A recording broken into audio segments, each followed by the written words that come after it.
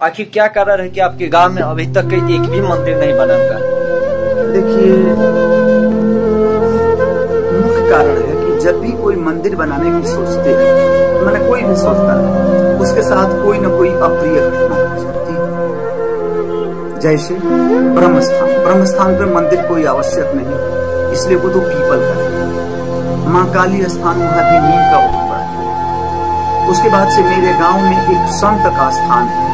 वहाँ पर एक छोटा सा कुटिया है, वहाँ पर भी मंदिर है। बात रही एक शंकर भगवान के स्थान और मसान माई के स्थान तो मसान आज उन्नीस सौ नवासी उन्नीस सौ नवासी में हमारे गाँव के एकमात्र भूमिहार बाबू जनक साहब। सोचे कि उनके घर के पीछे मसान माँ का स्थान है। वहाँ पर छोटा सा एक मंदिर का निर्माण करा। और जिस दिन सोचे, जिस दिन वो परामर्श किए वो और रामरूप प्रसाद आपस में और उसी दिन शाम को खेती के वास्ते खेत में गए।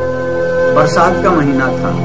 उसी दिन उनको सांप ने काट दिया और तत्क्षण उनकी मृत्यु फिर लोगों ने सोचा कि भाई मसान माई का मंदिर नहीं और आज से लगभग डेढ़ सौ साल पहले पांडे टोला एक लमटनाथ महादेव का स्थान जो इतना गहरा है, कुछ दम्भी लोग, कुछ जो लोग देवता को नहीं मानते हैं एथेइस्ट में नास्तिक लोग। ये लोग सोचे कि कोई कोई उनको, मैंने ऐसे स्थापित कर दिया। लेकिन बहुत लोग उनको, बहुत जड़ तक उनको कोड़े। लेकिन लगभग पानी निकल गया, लेकिन उनका जड़ नहीं। वहाँ पर एक बहुत बड़ा पाकड़ का पेड़ है, जो कब का है, कोई नहीं जानता। बचपन में हम लोग देखते थे कि उसमें उल्लू